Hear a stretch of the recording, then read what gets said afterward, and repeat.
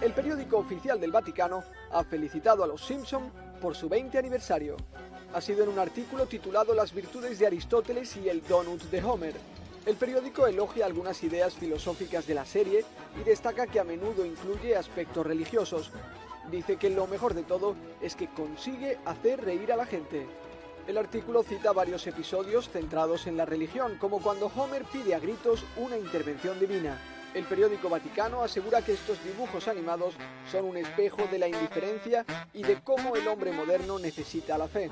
A pesar de todo, el diario critica el lenguaje crudo y la violencia de algunos capítulos de la serie.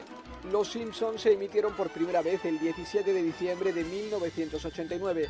Desde entonces se han hecho 449 capítulos.